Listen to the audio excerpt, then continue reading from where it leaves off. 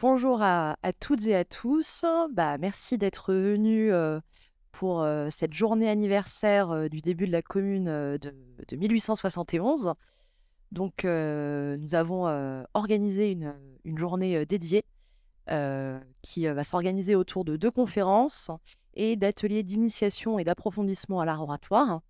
Donc, cette journée est organisée par Le Vent se lève, qui est un média d'opinion indépendant qui a pour ambition de faire vivre le débat intellectuel et de travailler à la refondation de la pensée progressiste. Et le deuxième organisateur de cette journée, c'est la Fédération francophone de débat, qui est une association qui œuvre pour la promotion et la démocratisation de l'art oratoire. Alors pour la, première conférence de la journée, donc le thème de cette première conférence, c'est celle de la République sociale et des tendances de la révolution communaliste entre Blanqui, Proudhon et Marx. Euh, donc, pour, euh, pour commencer, donc, euh, je crois que c'est devenu une, une petite tradition, on commence toujours par des citations. Et donc là, je, citerai la déclaration au peuple français du 19 avril euh, 1871, qui est celle-ci. Nous avons la mission d'accomplir la révolution moderne la plus large et la plus féconde de toutes celles qui ont illuminé l'histoire. Bon, alors, maintenant qu'on a dit ça, qu'est-ce qu'on peut dire? Euh, bah, C'est que de la commune, euh, on retient euh, souvent et généralement quelques, quelques images assez fortes hein, qui illustrent bah, finalement plutôt sa dimension libertaire. Donc, on pense notamment à la figure de, Louise Michel, à la figure des pétroleuses. Et cette dimension libertaire a été, bah, a été entretenue par une, certaine, par une certaine historiographie qui a réussi à imprimer, imprimer dans nos esprits bah, l'image de la commune comme euh, une insurrection euh, décentralisatrice, ultra-démocratique, euh, anti-étatiste, voire complètement anti-républicaine. Et en cela, on rejoint finalement, et d'une certaine manière, les caricatures des opposants à la commune, qui bah, se, plaisaient énormément à, dépeindre cette commune comme gigantesque, euh, une Saturnale où euh, toutes les normes sociales sont renversées. Euh, bien évidemment, la réalité historique est toujours plus complexe et se pose précisément la question des, courants à l'intérieur de cette commune. Puisqu'il existe des courants proudhoniens, il existe des courants mutualistes, mais il ne faut pas oublier, que l'extrême majorité de ces élus sont des républicains de tradition jacobine et dont le mot d'ordre est sauver la patrie en danger. Euh, pour continuer sur la question des courants, pardon, euh, on peut penser aussi à la question des, courants socialistes. Et, euh, donc là, je pense qu'on en parlera un petit peu. hein. Est-ce que ce serait pas forcément, enfin finalement une, projection de notre part, puisque bah, les communards ont alors à l'esprit des figures qu'on pourrait qualifier aujourd'hui de, de- désuètes, hein, mais on, en reparlera, euh, comme celles de, Proudhon euh, et de Blanqui. Euh, et donc tout ça pour, arriver finalement bah, à ce constat, c'est que bah, l'expérience l'expérience communarde, elle est traversée de, débats, de débats vifs sur la question du rôle de l'État dans la transformation sociale, sur la question de la légitimité des institutions républicaines, ou encore même sur la question de, bah, la, souveraineté, la souveraineté du peuple et des moyens d'instituer. Et si tous ont une ambition bah, de, réforme sociale, voire même de révolution, les moyens mis en œuvre, ou du moins pensés, sont parfois, sont parfois totalement opposés. Pour la problématique, je pense qu'on peut poser une question en apparence simple, hein, mais les questions simples sont de toute façon toujours les plus complexes. C'est quoi la commune? Quels sont les courants qui la, traversent Et puisqu'on a commencé par une citation, on retermine par une citation. Et ce sera cette fois-ci une citation de Marx, et j'espère qu'on dira quelques mots sur, Marx également.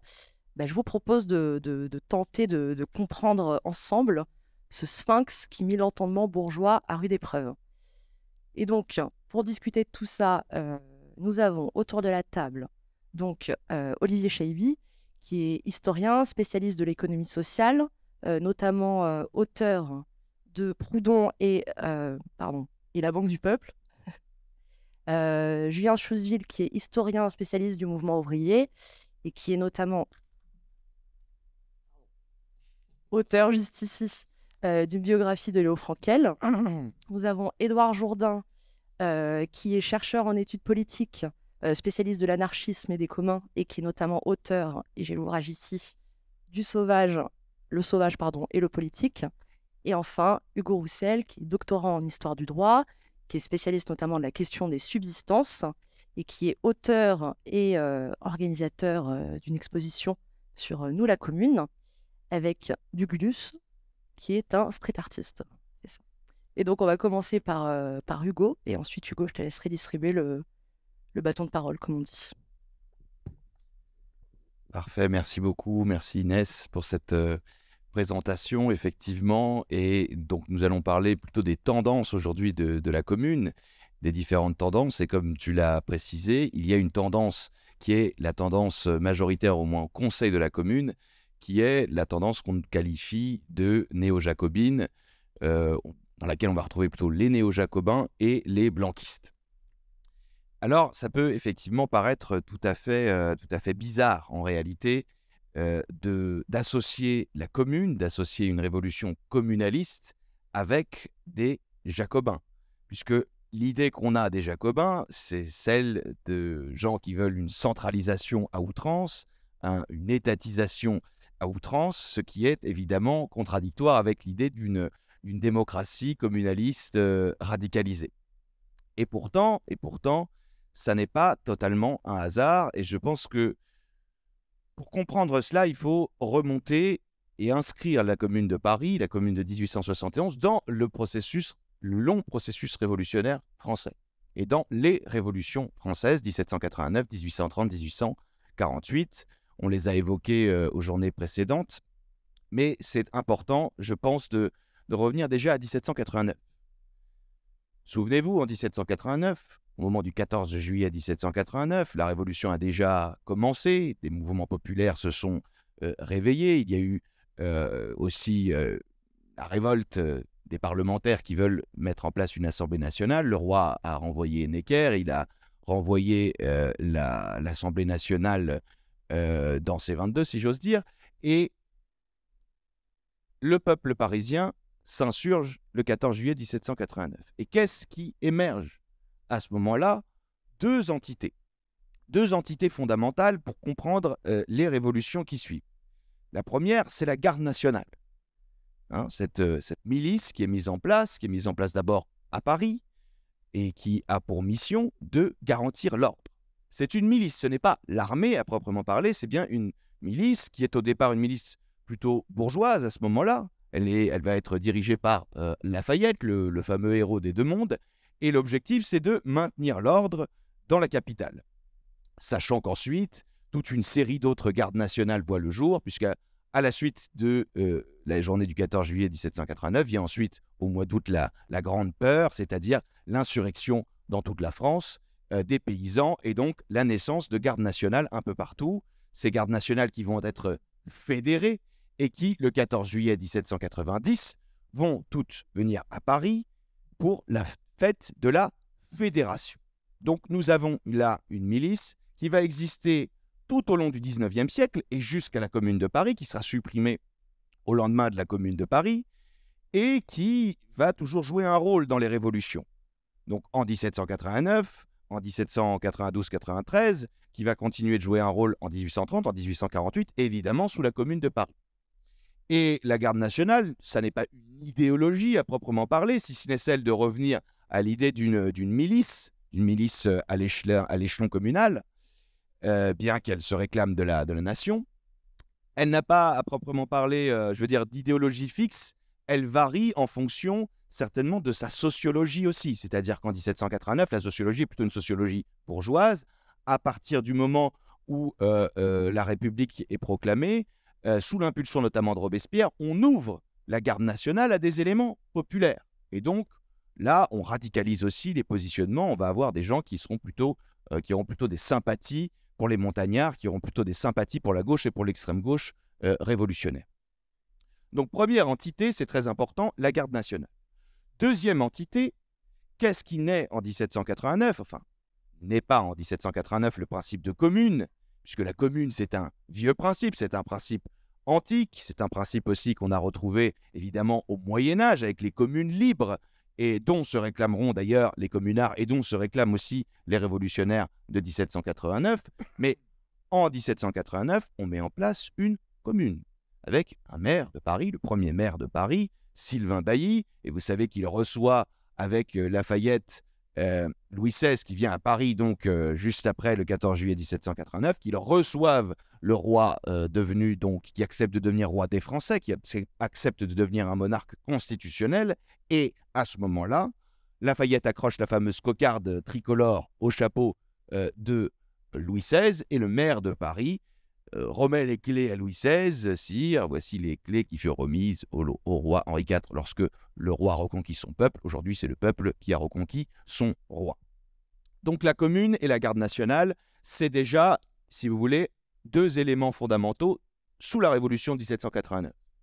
Plus encore, en 1792, puisque le 10 août 1792, ceux qui renversent le roi, ce sont les Parisiens insurgés, ce sont aussi euh, les, les, armées euh, qui sont remontées sur Paris, mais c'est aussi une commune insurrectionnelle qui siège aussi à l'hôtel de ville et qui organise donc la prise de pouvoir et qui renverse la monarchie.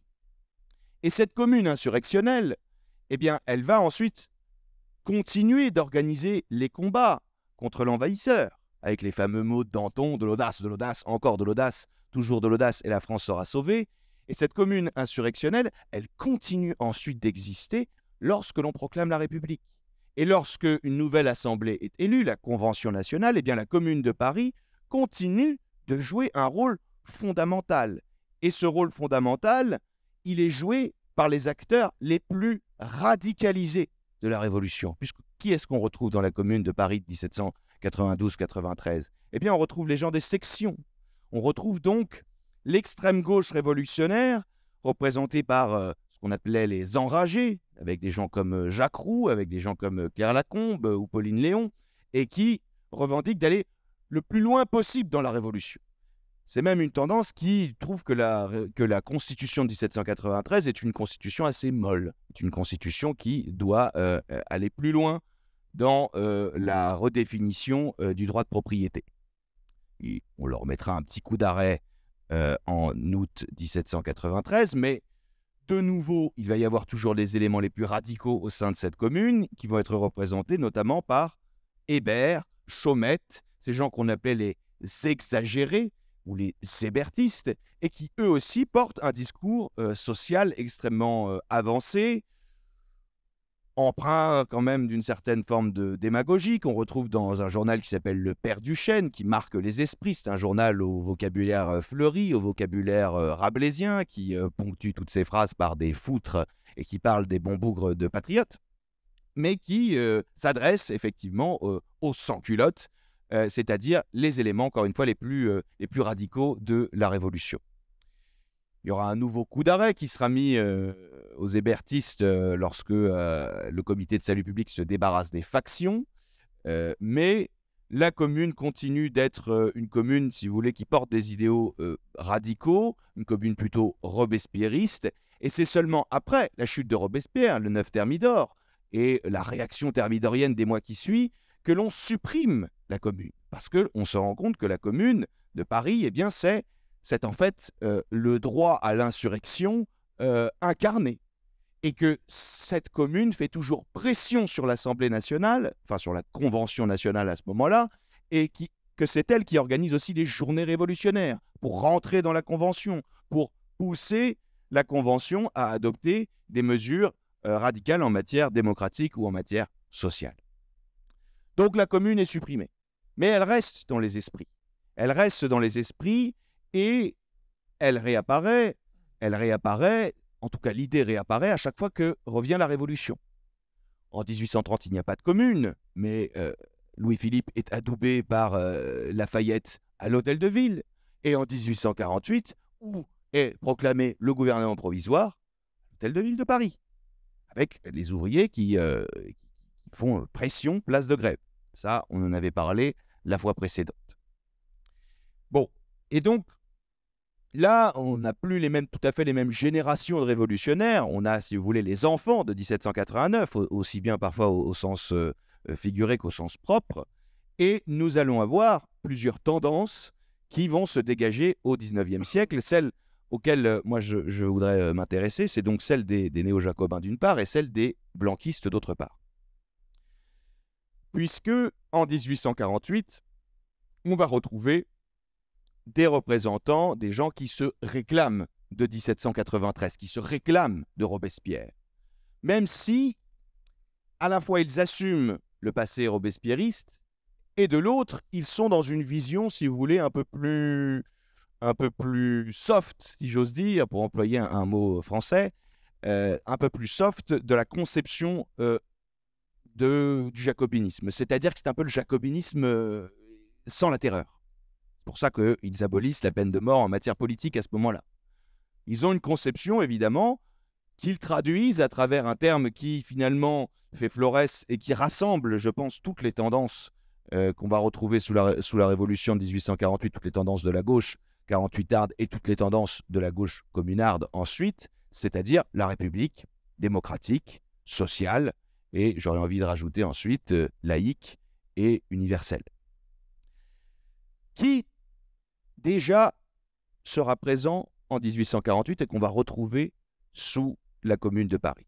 Eh bien, je voudrais citer euh, deux personnages, puisque donc les figures de proue de cette tendance néo-jacobine, euh, républicaine, démocratique et sociale en 1848, ça va être plutôt des gens comme Louis Blanc, ça va être plutôt des gens euh, un peu plus modérés comme Crémieux ou Ledru-Rollin, ça ce sont les figures connues, mais sous en 1848. On va retrouver aussi euh, deux acteurs qui vont ensuite jouer un rôle important sous la Commune de Paris. C'est Félix Pia, qui monte un journal qu'il appelle la Commune révolutionnaire et qui se réclame évidemment de la Révolution de 1792-93, et Charles de l'Écluse, qui va être un, une des figures, un des chefs de la Commune de Paris, et qui à ce moment-là joue un rôle euh, important. Il est proche de Ledru-Rollin, et euh, il va notamment euh, se, démarquer puisqu'il va tenter une sorte de d'invasion révolutionnaire en Belgique pour essayer de propager la révolution de 1848, puisque nous sommes en plus dans une période qui est celle du printemps des peuples. L'Europe est en révolution et Delescluze se dit que la révolution doit être au moins européenne. C'est un échec cuisant. Il est arrêté à la frontière du. Ça s'appelait risquons tout. Donc, si vous voulez, euh, euh, il voulait tout risquer et il a tout risqué et il a tout perdu. Mais cette euh, figure républicaine va marquer les esprits et va ensuite continuer sous le Second Empire à être un agent de la, des idées jacobines. D'accord? Et il va être arrêté, il va faire énormément de prison. Il avait déjà fait la révolution de 1848. Sous le Second Empire, on va le retrouver, il va aller au bagne à Cayenne. Donc c'est un militant euh, euh, politique euh, républicain, néo-jacobin, et sous la Commune, on va le voir réapparaître. Il aura une soixantaine d'années. Il fera partie donc de la, vieille garde, des vieilles barbes 48 ardes, qui sont un petit peu démodées parce que 48 a, échoué. Mais c'est lui, si vous voulez, qui représente en fait cette tendance néo-jacobine qu'on retrouve sous la Commune. Et qui s'inscrit dans le souvenir en fait de 1792-93. Autre tendance, c'est celle qui est représentée par Blanqui. Blanqui, on en avait parlé la fois dernière, Blanqui c'est un élève de Philippe Buonarroti. Buonarroti, c'est un révolutionnaire professionnel qui a participé euh, à la tentative de prise de pouvoir du premier parti communiste agissant, comme avait dit Karl Marx, sous la Révolution française, celui de Babeuf, qui avait tenté euh, de, une prise de pouvoir et une mise en place d'une sorte de, de république euh, qu'on pourrait qualifier un peu anachroniquement de pratiquement déjà de, de, néo, de, de proto-collectiviste, si j'ose dire.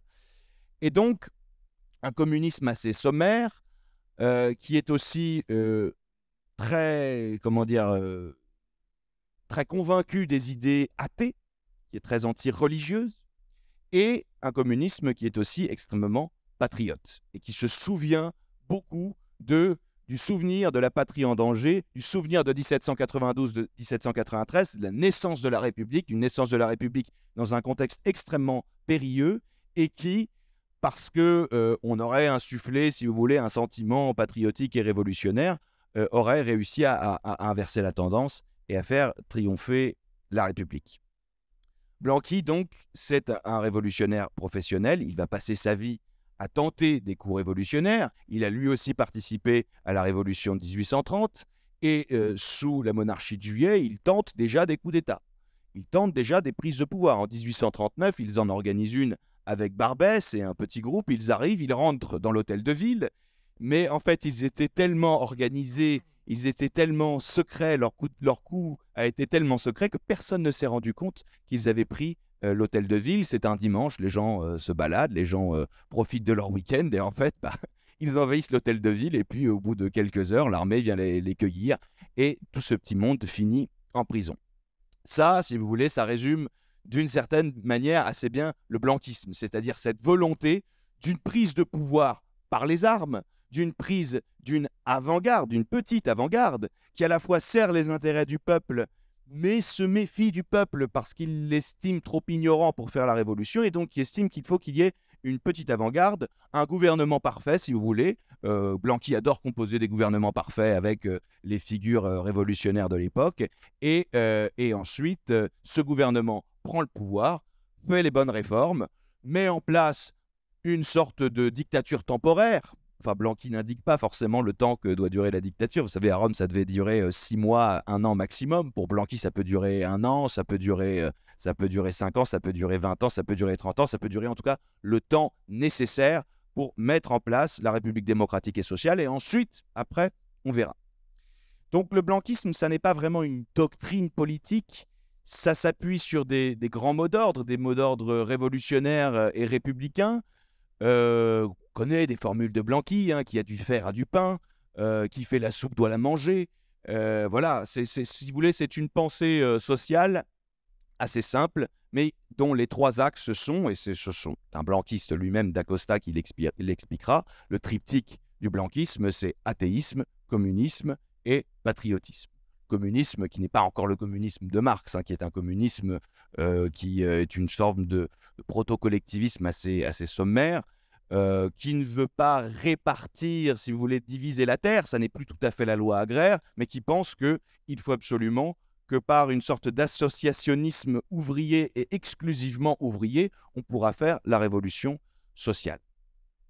Blanqui, en 1870-71, ce sera un, vieux, un, vieux, monsieur. Ce sera un monsieur, euh, si vous voulez, sera une figure qui aura une figure un petit peu de figure de patriarche. Mais par contre, autour de lui, il y aura toute une génération de blanquistes, de jeunes blanquistes, qui, dans les années 1860, se retournent autour, euh, se, trouvent autour du, vieux, comme il l'appelait, le vieux Blanqui, et qui euh, vont souvent se retrouver au quartier latin, et, qui vont, eux aussi, avoir une sympathie très marquée pour la Révolution française.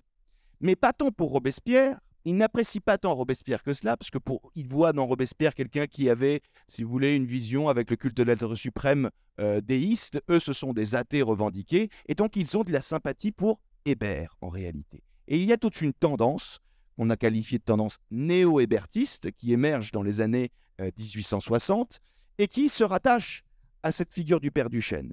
Et sous la Commune de Paris va renaître euh, le, journal Le Père Duchesne, qui va reprendre, si vous voulez, tout le vocabulaire fleuri, reprendre toute la rhétorique du Père Duchesne et défendre un petit peu cette espèce de, vocabulaire un peu, violent, un peu fleuri, euh, pour motiver euh, les masses, pour les mobiliser autour des, ennemis communs que sont les accapareurs, que sont les spéculateurs, que sont les, les banquiers véreux, que sont le monsieur Vautour, le, le, locataire véreux aussi, enfin plutôt celui qui, qui, est le propriétaire véreux qui, qui exploite le locataire plutôt.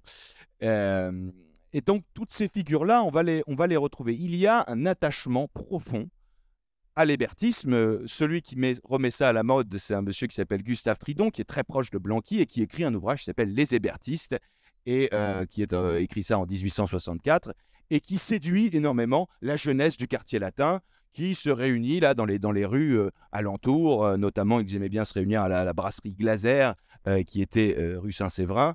Voilà, en fait, d'une certaine manière, le néo-hébertisme est à l'année 1868 ce que le maoïsme sera à l'année 1968 d'une certaine manière. Ce sont un petit peu, si vous voulez, une jeunesse gauchiste radicalisée, mais qui prend énormément de risques, qui est souvent arrêtée, qui est souvent jetée en prison. Et on va retrouver des figures qui d'ailleurs sont des, enfants terribles du blanquisme, qui n'écoutent pas nécessairement ce que dit le vieux. Je, prends pour exemple Eugène Proto, qui va être, si vous voulez, l'équivalent du garde des Sceaux sous la Commune de Paris. Eugène Proto, en 1868, il part à une réunion de l'Internationale pour brocarder les Proudhoniens, dont nous allons parler dans un instant. Et finalement, Blanqui se ravit. Je lui dis non, non, non, mais faut, mieux vaut éviter ce genre de, prise de bec, c'est pas le moment. Et Proto ne l'écoute pas. Il va à cette réunion de l'Internationale, il brocarde les Proudhoniens. Et quand il revient, d'ailleurs, il va être jugé par les blanquistes qui se, réunissent dans un café. et finalement, le procès commence, mais très rapidement, la police intervient et là, tout le monde est arrêté, ce qui règle, si vous voulez, l'affaire. Donc le blanquisme, ça n'est pas, ça n'est pas une doctrine. C'est plutôt, ou si s'il y a une doctrine, c'est une doctrine de l'action. C'est une doctrine de la révolution au plus, au plus vite. Il faut faire la révolution et ensuite on verra. On verra ce qu'on fera. Mais si on trouve un petit groupe d'hommes déterminés qui ont des bonnes intentions, à partir du moment où on prend en main le pouvoir, eh bien, euh, on pourra ensuite faire de bonnes choses.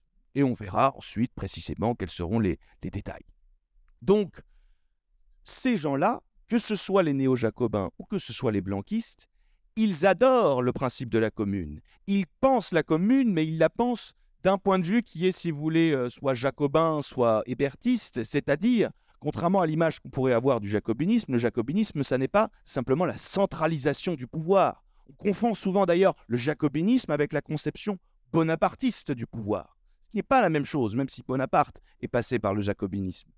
Le, jacobinisme de 1793-94, dans la, dans la façon dont il est pensé par les montagnards, c'est une articulation d'un pouvoir centralisé fort, qui a des, qui mène, pose, si vous voulez, les grandes directives et les grandes lignes, mais qui s'articule avec une démocratie communale extrêmement radicalisée.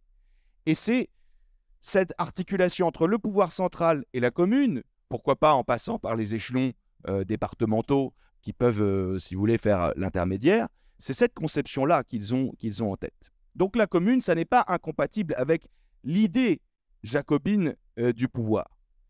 Euh, même si, évidemment, de l'autre côté, et on va en parler dans, quelques instants, les internationalistes, les, les, les, proudhoniens, les mutuellistes, les, gens de tendance fourriériste euh, ont aussi une conception de la commune qui n'est pas forcément tout à fait la même que celle des jacobins. Je, termine dans un instant, je veux juste simplement dire à quel poste vont occuper ces néo-jacobins et ces blanquistes sous la révolution communaliste, parce que c'est important de le noter, c'est important de le savoir. Qu'est-ce qui se passe? Déjà, ce sont eux qui organisent bien souvent euh, les actions, euh, les tentatives de prise de pouvoir. Déjà en 1870, sous euh, Napoléon III pendant la guerre, ils tentent un premier coup. Ils vont tenter un deuxième coup en octobre 1870 en voulant proclamer la commune. Ils rentrent à l'hôtel de ville, ils tentent de proclamer la commune, ça ne marche pas. Une troisième fois, le 22 janvier 1871, ils rentrent dans l'hôtel de ville et euh, ça ne marche pas, ils se font tirer dessus. Et finalement, ils vont faire partie de la cheville ouvrière le 18 mars 1871 de ceux qui vont permettre la euh, commune. Mais attention, ce pas des partis organisés, ce ne sont pas euh, des, partis qui sont, euh, si vous voulez, euh, séparés les uns des autres. Il y a des gens qui sont à la fois blanquistes, proudhoniens, qui sont membres de l'Association internationale des travailleurs. Donc, il ne faut pas voir les choses de manière aussi, aussi sédimentée. Toutefois, dans la tendance un peu blanquiste et néo-jacobine, les postes qui vont être occupés, ce seront plutôt des postes qui vont correspondre aux régaliens, en somme. J'ai parlé de Proto tout à l'heure. Proto, c'est celui qui va être, si vous voulez, le garde des sceaux, d'une certaine façon, de la commune. C'est lui qui va mettre en place toutes les procédures de la commune. C'est lui qui va écrire le décret sur les otages, tout en mettant en place toute une série de, procédures pour éviter une certaine, une certaine forme d'arbitraire, parce que lui, il est entre le blanquisme et le néo-jacobinisme. Il veut euh, une république qui respecte euh, les formes. De l'autre côté, et il se trouve en conflit avec les gens de la Sûreté générale les gens de la Sûreté Générale, c'est quelqu'un, un jeune homme qui s'appelle Raoul Rigaud, qui, euh, si vous me passez l'expression, un peu un au casque, qui lui dit je ne fais pas de la procédure, je ne fais pas de la procédure, je fais la révolution, et qui lui considère que, au contraire, la révolution, euh, si, si, j'ose dire, est un acte de violence, qu'il faut assumer cette violence, qu'il faut aller jusqu'au bout du processus révolutionnaire, et après, on verra. On retrouve d'ailleurs, euh, très proche de Raoul Rigaud, Théophile Véret, qui était l'amant de Louise Michel. Et Louise Michel aussi est à ce moment-là une blanquiste. Elle deviendra ensuite anarchiste et libertaire, mais d'abord, elle est blanquiste. Et on retrouvera aussi plutôt ces néo-jacobins et ces blanquistes euh, à la guerre, puisque ce sont eux qui poussent, surtout les blanquistes, pour qu'on attaque Versailles. Et vont tenter une saillie sur Versailles. Les généraux Duval et Flourens au début avril, vont tenter cette saillie sur Versailles, mais ils vont être arrêtés et ils vont être fusillés. Voilà, donc si vous voulez, ce sont les majoritaires de la commune, et je conclurai là-dessus. Qu'est-ce qui fait qu'on appelle majorité et minorité sous la commune? C'est le choix, au bout d'un moment, de mettre en place un comité de salut public. Et les néo-jacobins et les blanquistes seront ceux qui mettront en avant l'idée d'un comité de salut public, c'est-à-dire de mettre en place une dictature temporaire pour finir la guerre, pour finir les combats, pour battre Versailles. Et c'est sur ce clivage-là, entre autres clivages, que l'on pourra les distinguer de la minorité de la commune, même si effectivement il y a beaucoup plus de, subtilité. Peut-être qu'on en dira un mot plus tard, mais je passe euh, le micro pour parler euh, des Proudhoniens tout d'abord à Olivier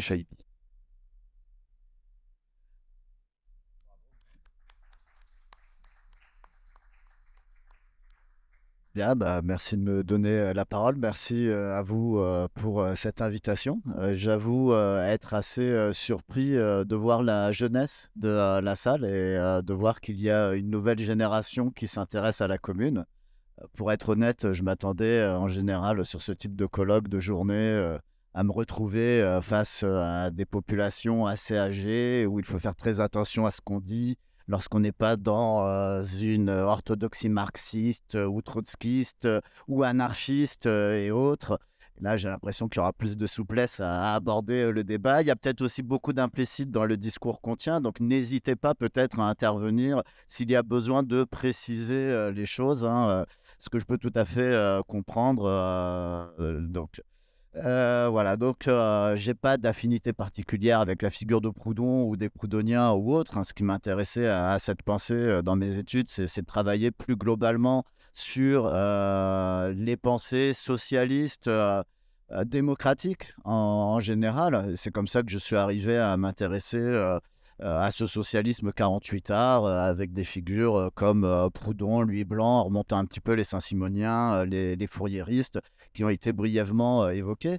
Plus globalement, je pense que vous l'avez compris, que dans les débats en général autour de la commune, qu'est-ce qu'il y a derrière pendant longtemps ce bras de fer entre Marx et Proudhon? C'était de savoir si la commune est plutôt anarchiste, autogestionnaire ou plutôt marxiste et plus globalement euh, dans la pensée socialiste euh, européenne et internationale. Pendant longtemps, le, débat qui se jouait, c'était finalement euh, en gros de savoir quel socialisme et quelle modalité de révolution socialiste on doit mener.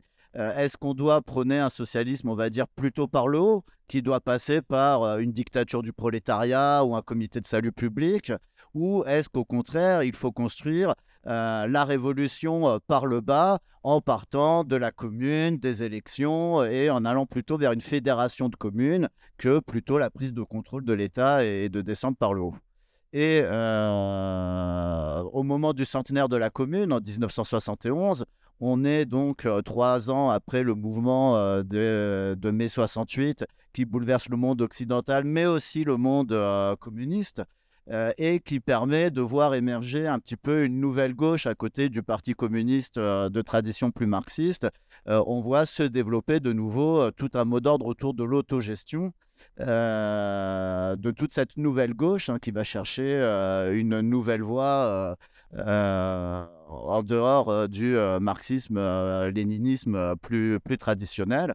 Et on voit donc à partir des années 70, de nouveau, après l'héritage anarcho-syndicaliste, un héritage de la gauche autogestionnaire qui se tourne un petit peu vers la volonté de montrer l'importance de Proudhon au 19e siècle, mais donc aussi dans la commune pour faire, entre guillemets, le contrepoids aux, tendances marxistes. Aujourd'hui, la figure de Proudhon est plutôt répulsive. Hein. Je reviendrai sur sa misogynie qui en fait aujourd'hui une figure qui le discrédite de toute façon dans le milieu libertaire et qui va être difficile de revendiquer aujourd'hui quand on veut proposer une alternative sociale qui puisse parler aux jeunes générations. Donc, euh, je vais m'appuyer en grande partie sur un ouvrage, euh, sur un article de Jean Bancal qui était paru dans euh, une revue sur l'autogestion en 1971 dans le cadre du centenaire de, la commune, qui cherchait à montrer l'importance de Proudhon et du proudonisme dans la commune pour justement réhabiliter ces figures qui avaient eu tendance à, être minorisées par rapport à la tendance majoritaire dont parlait Hugo, celle des blanquistes et des néo-jacobins. Alors, je vais partir d'une citation, une citation de Gustave Courbet, à franc-comtois, comme euh, Proudhon, hein, euh, qui fait partie de cette, région dont le nom même, Franche-Comté, euh, où sont nées énormément de fruitières qui sont un peu à l'origine des coopératives d'une certaine manière, explique pas mal de choses dans son lien avec Proudhon. Courbet, donc, il occupe une place importante sous la commune, notamment par son rôle dans les arts. Et il écrit dans un texte édité par le journal officiel de la commune du 5 avril 1871 Aujourd'hui, Paris est libre et s'appartient, et la province est en servage. Quand la France fédérée pourra comprendre Paris, l'Europe sera sauvée. Aujourd'hui, j'en appelle aux artistes, j'en appelle à leur intelligence, à leurs sentiments, à leur reconnaissance. Paris les a nourris comme une mère et leur a donné leur génie. Ah, Paris, Paris, la grande ville, vient de secouer la poussière de toute féodalité. Les Prussiens les plus cruels, les exploiteurs du pauvre, étaient à Versailles. Sa révolution est d'autant plus équitable qu'elle part du peuple. Ses apôtres sont ouvriers, son Christ a été Proudhon. Donc il y a beaucoup d'emphase, il y a beaucoup de verbes. Hein. Vous voyez la référence à la fédération, euh, à l'idée de sortir de la féodalité. On retrouve un petit peu tout ce discours proudhonien et des socialistes de 48 arts. Euh, l'idée même chez euh, quelqu'un euh, athée ou un anti de qualifier Proudhon au Christ, l'assimiler au Christ, Proudhon lui-même antithéiste, vous voyez, il y a quelque chose d'assez cocasse, et en même temps qui montre quand même, on est le 5 avril 1871, hein, oser écrire cela dans les colonnes de la part de Gustave Courbet, c'est pas anodin. Il sait qu'il peut potentiellement, si Proudhon était une figure repoussoire, il ne se serait pas permis d'écrire cela dans un journal officiel, celui de la commune. Euh, Jean Bancal euh, cite Henri Lefebvre, peu soupçonné euh, d'être de sympathie proudhonienne ou anarchiste, hein, qui dit La seule idéologie qui présente un projet politique sous la commune, c'est alors le fédéralisme, et cela malgré tout ce que l'on peut dire sur l'apolitisme et, les réformismes, et le réformisme des proudhoniens. Il faut nuancer, hein, puisque, comme l'a rappelé Hugo, il y a bien un projet politique blanquiste ou néo-jacobin aussi. les historiens Dautry et Scheller écrivent dans le comité un ouvrage sur le comité central républicain paru aux éditions sociales au début du XXe siècle.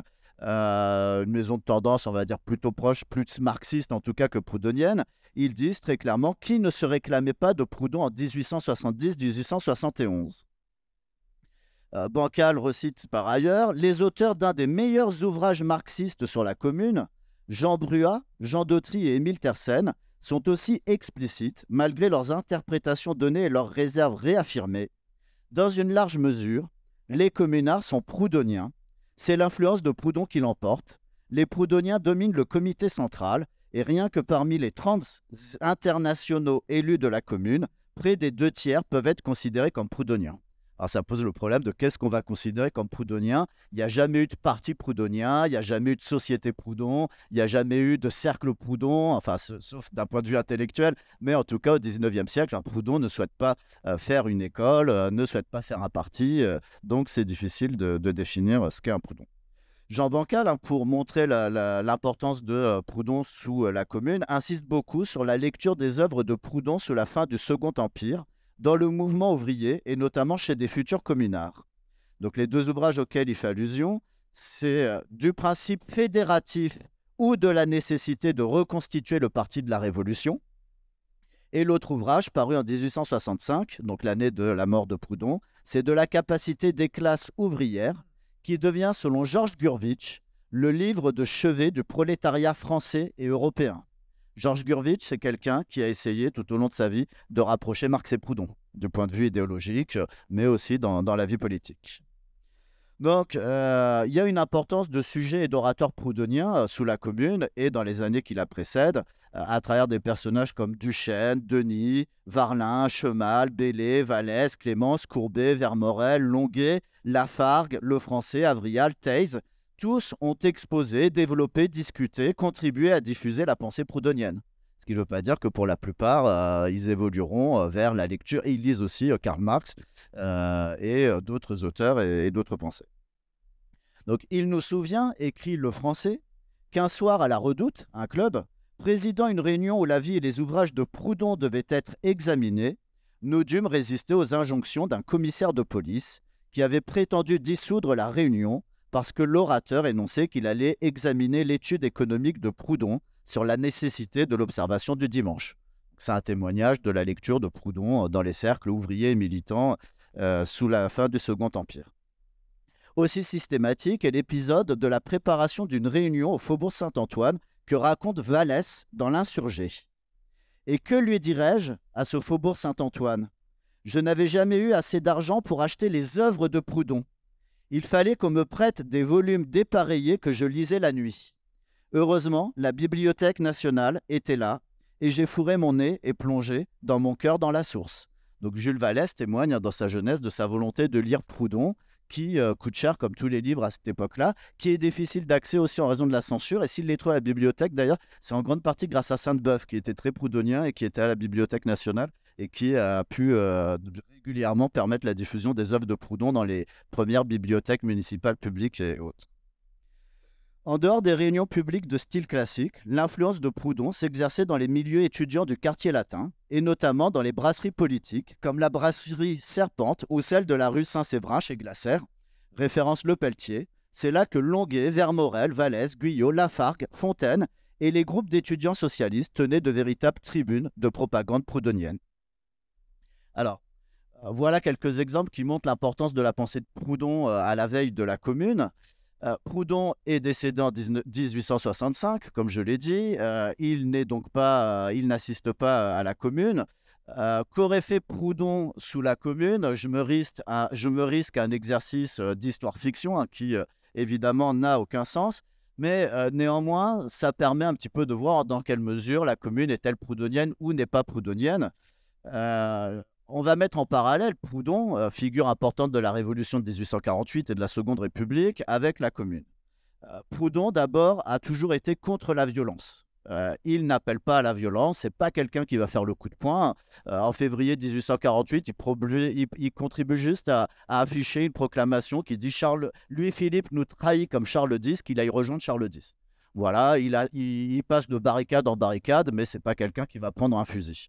Donc, globalement, ce n'est pas quelqu'un qui aurait revendiqué euh, d'aller se battre, euh, surtout à un âge qu'il aurait eu en 1870. Euh, par contre, c'est quelqu'un qui défend les insurgés de février, mais aussi de juin 1848. En juin 1848, évidemment, Proudhon fait tout pour qu'il n'y ait pas d'affrontement entre les ouvriers qui se mettent en grève et prennent les armes et montent des barricades et la, la, répression. il déplore ce massacre et euh, il est un des premiers à l'Assemblée nationale à prendre la défense des insurgés de juin 1848 dans un discours qui euh, le fait nommer après l'homme terreur, euh, parce que son discours était très violent contre la bourgeoisie dans l'Assemblée nationale.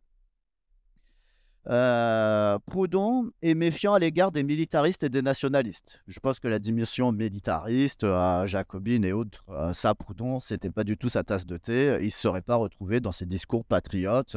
c'est un fédéraliste. Hein, on ne peut pas en faire un internationaliste, mais globalement, c'est pas quelqu'un qui revendique le nationalisme.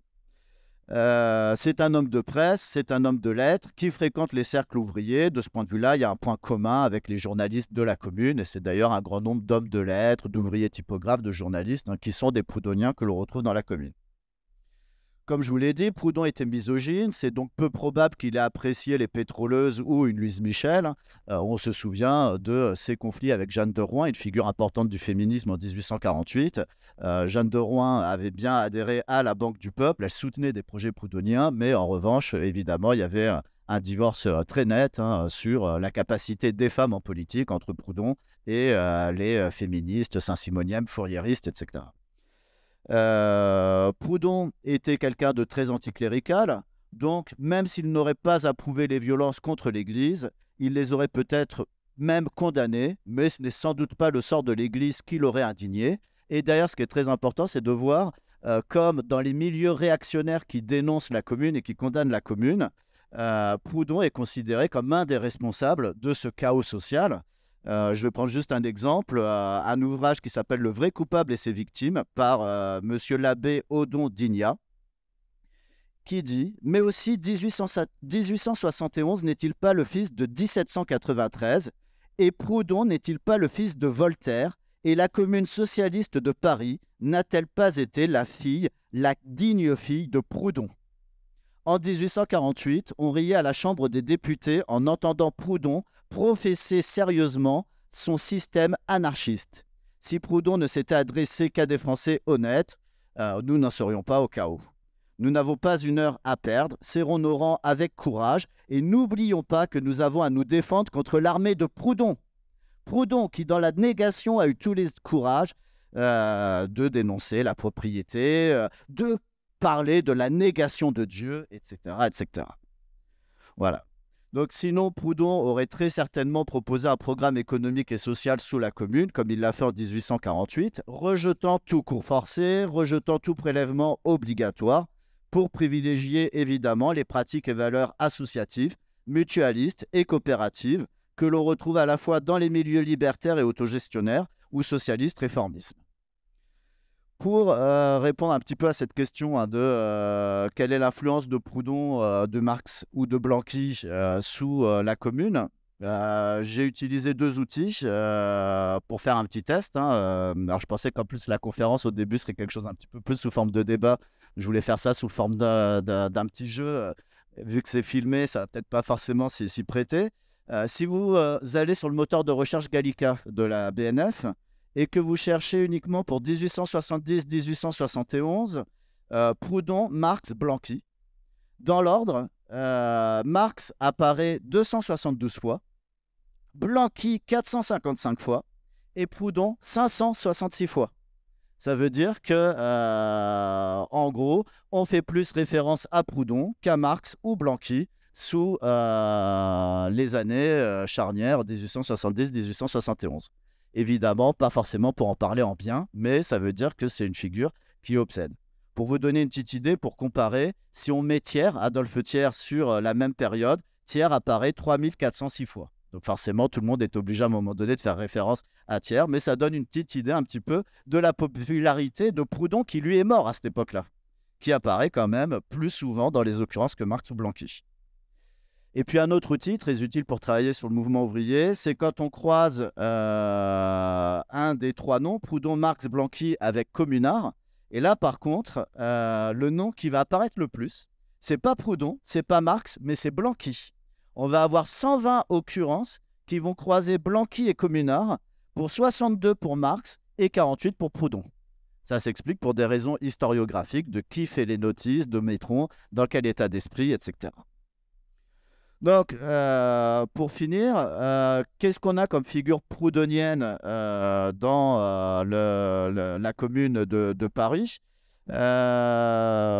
Certains vont souligner que dans le comité central républicain des 20 arrondissements ébauché dès le 5 septembre 1870 et dans lequel le français voyait à juste titre une constitution non officielle de la commune, on a les figures de Pindy, Varlin, Le Français, Pierre Denis, Langevin, Jules Vallès, Chemal, Bézlé, qui ont lu euh, Proudhon. De même, dans le comité central de la garde républicaine, euh, on va trouver des proudhoniens comme Jourde, Avrial, Longuet, Varlin, Vaillant. Dans le gouvernement provisoire du 18 mars proudhonien, les du 18 mars, les proudhoniens occupent des postes essentiels. Varlin et Jourde promus délégués aux finances par le comité central, Vaillant chargé de l'intérieur, tandis que Longuet prend en main l'officiel et que Vallès est nommé à l'instruction. On peut faire des figures, justement. Euh, Bancal nous propose euh, trois classements de proudhoniens. Les proudhoniens collectivistes, Varlin, Malon, Thèse, Avrial, Le Français, Clémence, Langevin, Longuet, Pindy. Les proudhoniens mutualistes, comme Bellé, Jourde, Victor Clément. Des proudhonisants collectivistes. Et là, ça lui permet de ratisser large, puisqu'il met Arthur, Arnould, Andrieux, Tridon. Ça devient, à un moment donné, une volonté de mettre des proudhoniens partout, sous prétexte qu'ils ont fréquenté ou lu Proudhon à un moment donné. Et puis en dehors de ces figures élues et officielles, euh, quatre autres exemples de personnes qui euh, ont euh, lu et, et fréquenté Proudhon. la figure de Georges Duchesne, ouvrier typographe, le meilleur, le plus intéressé, le plus indépendant à la fois des amis de Proudhon, selon Gustave le Français, mais aussi un traître, selon Jules Vallès, qui a été un collaborateur de Proudhon de 1848 jusqu'à sa mort, qui est communard et qui fonde et qui est collaborateur du journal La Commune du 20 mars au 19 mai 1871, un journal très proudhonien euh, avec Odilon de Limal puis euh, Jean-Baptiste euh, Millière. Autre personnage assez intéressant. Alors, est-ce que ça en fait un proudhonien idéologique? Mais c'est assez marrant du point de vue de la lignée des idées. Vous avez un Eugène Curie, qui est fils de Saint-Simonien, qui a soigné les blessés en juin 1848 et qui a été le médecin de Proudhon jusqu'à sa mort. Et Eugène Curie, euh, il a été euh, nommé médecin-major du, 17e bataillon fédéré. Donc, euh, il contribue à soigner les, communards. Et cet Eugène Curie est docteur et le père d'un Pierre Curie que vous connaissez pour être Pierre et Marie Curie. autre figure, vous avez un Eugène Dupas qui au début est un horloger puis qui va devenir pharmacien, puis qui va devenir médecin. C'est un coopérateur, c'est un proche de Proudhon aussi depuis 1848. Il est dans l'international dès 1864. Il défend une fédération du crédit, donc on retrouve les, idées de crédit mutuel prônées euh, par Proudhon. Il échoue aux élections de février 1871 comme socialiste révolutionnaire, mais on le retrouve comme médecin-major dans la garde nationale. Enfin, vous avez Louis de Bock, ouvrier typographe, qui euh, a créé le représentant du peuple en 1848, dans lequel écrivait Proudhon.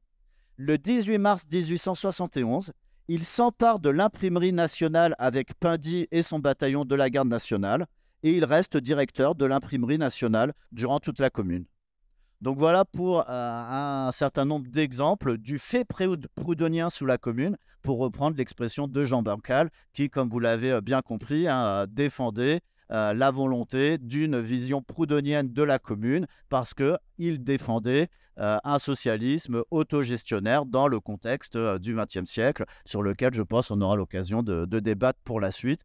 du point de vue de l'intitulé, cette journée commun, commune et l'intérêt un petit peu idéologique que ça peut avoir aujourd'hui de rediscuter de tout cela.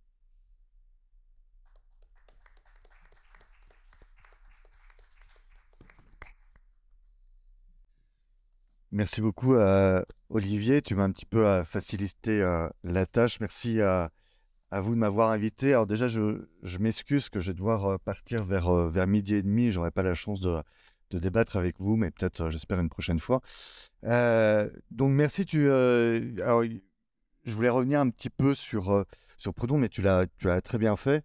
alors, tu es revenu un petit peu sur euh, sur sa misogynie, il y a aussi son antisémitisme. Euh, mais néanmoins, je pense que euh, c'est très important de, pouvoir faire le tri. Et je pense que, y compris aujourd'hui, hein, Proudhon a beaucoup de choses à, nous apprendre d'un point de vue économique, politique, philosophique. Et je ne pense pas du tout que ce soit une figure dépassée, mais au contraire qu'on peut, d'une certaine manière, se réapproprier. alors, pour revenir très, très vite à, Proudhon, hein, euh, euh, avant la Commune de, Paris, en effet, il y a euh, plusieurs écrits d'anarchistes. et c'est ce qui va m'intéresser ici, hein, c'est la, lecture des anarchistes de, la Commune de Paris. alors parfois, cette lecture peut être un petit peu mythifiée, hein, puisque chaque courant idéologique va essayer de, tirer un petit peu la couverture à lui hein, pour, en ce qui concerne cet événement qui est, qui est assez spectaculaire, qui, qui relève d'un événement révolutionnaire. mais ce qu'on oublie aussi un petit peu parfois, c'est que chez, les, anarchistes, il y a aussi une certaine critique parfois de la Commune de Paris. Donc, ce que j'aimerais montrer, c'est aussi cette, ambivalence. pour revenir à, Proudhon, donc très, très vite, on retrouve, comme tu l'avais mentionné, hein, notamment dans, dans son livre du principe fédératif, mais aussi sur son livre sur la capacité des classes ouvrières, cette idée que la commune, c'est le lieu du politique par excellence. et ça, j'allais dire, en, réalité, depuis euh, depuis l'Antiquité, hein, mais il, il, demeure dans cette, dans cette tradition hein, qui est que la commune, c'est ce lieu où les gens peuvent se retrouver aussi dans des relations de face à face, peuvent discuter, élaborer des lois, etc. Alors, il, je, vous le cite juste en, deux lignes, hein, où il dit La commune est par essence, comme l'homme, comme la famille, comme toute individualité ou collectivité intelligente et morale, un être souverain. En cette qualité, la commune a le droit de se gouverner elle-même. Et donc, pourquoi pas de faire des lois, etc. Donc, cette, euh, cette idée de commune, euh, cependant, elle s'inscrit toujours dans une perspective fédéraliste. Et c'est ça la grande différence, notamment avec les, euh, les communes qu'on pouvait, les cités qu'on pouvait retrouver dans l'Antiquité, qui vont être très attachées à la notion d'autarcie. Hein. et l'autonomie, notamment chez les Grecs, se confond avec l'autarcie ça, c'est la grande différence dans la tradition anarchiste, c'est que l'autonomie ne se réduit pas à l'autarcie pour la commune. Hein. L'autonomie s'inscrit toujours dans des relations d'échange avec d'autres communes, pas dans des relations de, notamment de, guerre qui, étaient très importantes hein, dans l'Antiquité notamment. Alors, il y a donc tout un tas d'autres théoriciens anarchistes, hein, au premier rang desquels, par exemple, un Bakounine, hein, qui est un, gros, grand théoricien anarchiste aussi du 19e siècle. alors Bakounine, un petit peu comme Blanqui aussi, c'était avant tout un homme d'action. Hein. donc alors il a, il a beaucoup écrit aussi, très souvent des ouvrages qui ne seront pas terminés, parce qu'il préfère aller faire le coup sur la barricade. Donc en 1871, il n'a pas, la chance d'être à Paris mais il est à Lyon et où il va essayer aussi hein, de, euh, euh, euh, de, faire le, coup, un coup révolutionnaire, en, appelant à l'insurrection de la commune lyonnaise. Malheureusement, ça ne marche pas des masses. Donc, et puis après, il repart pour essayer de refaire des coups à droite à gauche en Europe, etc. Bon. Il y a un autre auteur qui est très important pour, pour mes propos sur la, sur la commune de Paris, c'est Kropotkin. Donc Kropotkin, qui était un grand euh, théoricien anarchiste aussi, qu'on qualifie parfois d'anarcho-communiste, euh, mais bien au sens anarchiste du terme. Hein. C'est-à-dire que pour lui, il ne s'agit pas du tout de, s'emparer du pouvoir d'État. Et euh, Kropotkin, il a beaucoup écrit sur, sur la Révolution française, hein, notamment dans un, grand ouvrage qui s'appelle la, la, Grande Révolution, où il, appuie notamment cette, cette, idée, en effet, de, des sections des communes de Paris en canton en 1792-1793, comme tu le soulignais, Hugo, et qui préfigure, selon lui, hein, aussi cette, une forme de, de politique anarchisante aussi, hein, là où les, les citoyens vont, vont prendre en main les, les, choses publiques, délibérer ensemble, prendre des décisions collectives, etc. Bon. alors, Kropotkin, euh, il va écrire sur la commune de Paris. Euh, il va en faire un, certain éloge, hein. euh, mais il, il va être aussi, il va, il va remonter historiquement, j'allais dire, hein, le, sur, les, sur la notion de, commune. alors, il fait une, référence notamment au Moyen Âge. Hein, il dit, bah, dans les, communes libres du Moyen Âge, là aussi, on avait quelque chose de très intéressant, euh, dans la mesure où là aussi, on avait des formes d'autonomie, euh, etc. Bon. Y compris parfois aussi des formes de coopération avec des, ligues, comme la Ligue hanséatique, etc. Bon. il dit, néanmoins, attention, il y a deux différences hein, qu'on retrouve avec, le, avec le, Moyen Âge et les temps modernes. C'est qu'au Moyen Âge déjà, le combat des villes, il avait lieu contre le seigneur. Hein. donc c'était une forme de forme politique qui s'insurgeait aussi contre une forme de domination. C'est ça aussi qui l'intéresse dans, la notion de commune. Cependant, dans, la, dans les communes du Moyen Âge, il n'y avait pas cette division en classes sociales de manière très prégnante telle qu'on va l'avoir avec la société moderne et, industrielle au XIXe siècle. Donc il dit bah, il faut prendre en compte aussi cette dimension de, de, lutte des classes. Et puis il y a un autre aspect dont je vous parlais auparavant, c'est que dans les, les communes du Moyen Âge, il y a un côté très, très clocher, hein, avec des communes très, très, qui se veulent très indépendantes. Tandis que Kropotkin va insister sur le fait que dans un fédéralisme à venir avec les communes anarchistes, eh bien, il faut développer des formes d'échange et de coopération entre les communes hein, et pas rester sur un simple, une simple politique de, de clocher. Alors, si l'enthousiasme anarchiste pour la Commune de Paris va être certain au moment de l'événement, on va retrouver néanmoins une dizaine d'années après, vers 1880, certaines formulations de critiques.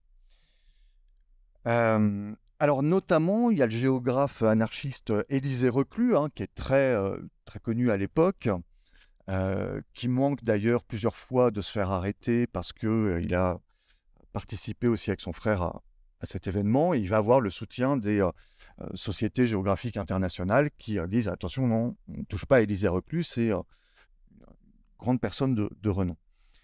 Et donc lui, il affirme, à Élisée Reclus, que, je le cite, hein, jusqu'à maintenant, les communes n'ont été que de petits États, et même la commune de Paris. Insurrectionnelle par en bas, elle était néanmoins gouvernementale par en haut, et maintenait toute la hiérarchie des fonctionnaires et des employés. Nous ne sommes pas plus communalistes qu'étatistes, nous sommes anarchistes. Donc là, ce qui est pointé, hein, c'est ce, danger hein, qu'on peut retrouver et critiqué de la part d'anarchistes, qui consisterait en fait à calquer la commune sur le modèle d'un État. Pour eux, il s'agit en, aucun cas hein, euh, euh, de faire cette erreur. D'ailleurs, hein, l'historien anarchiste Max Netlo hein, va estimer que c'est après avoir constaté les penchants autoritaires de certains dirigeants de la commune, avec euh, cette idée de, comité de salut public notamment qui se met en place, que Louise Michel serait devenue euh, anarchiste.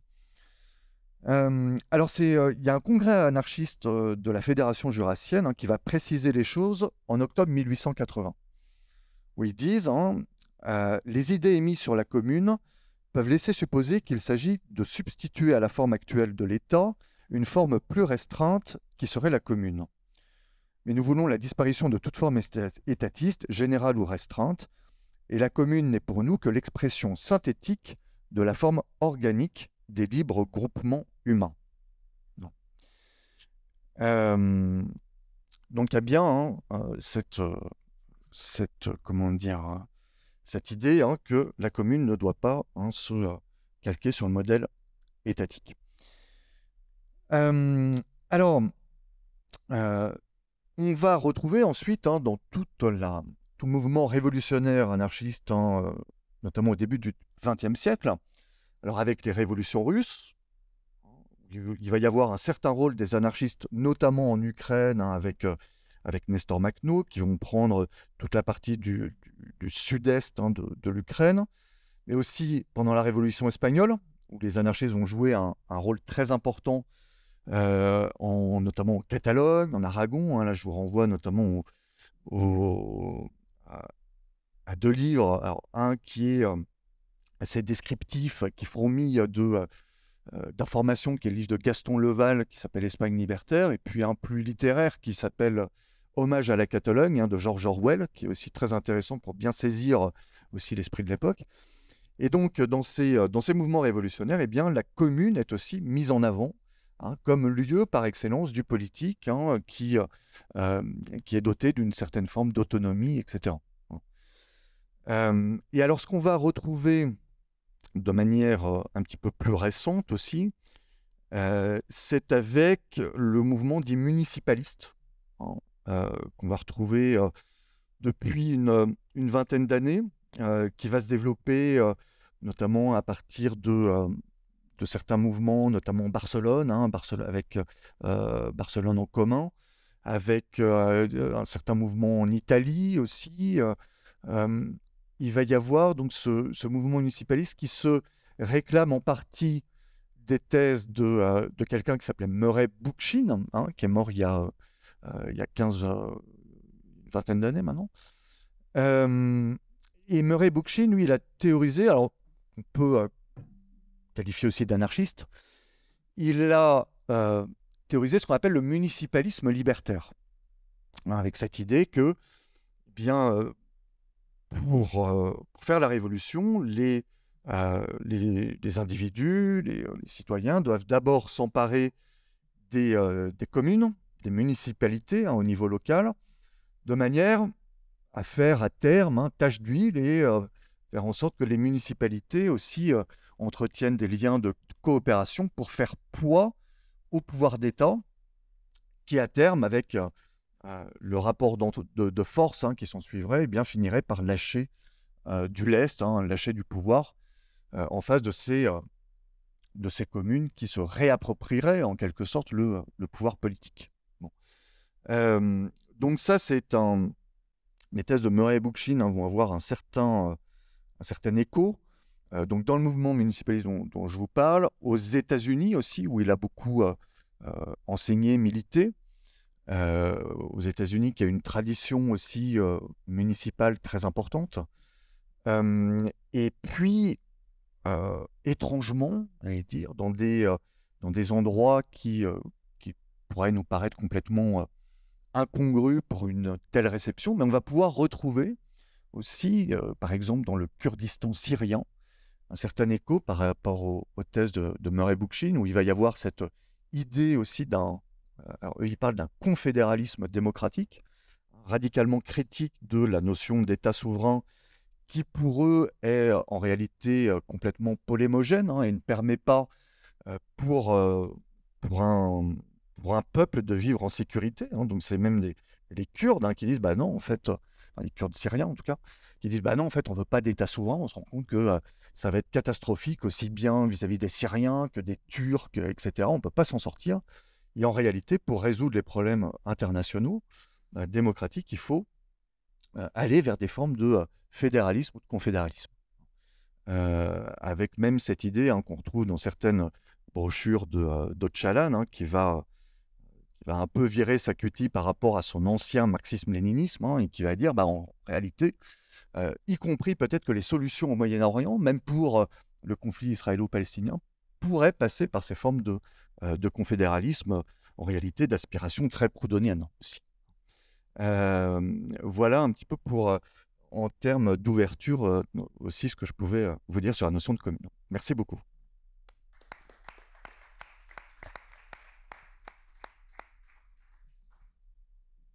Merci.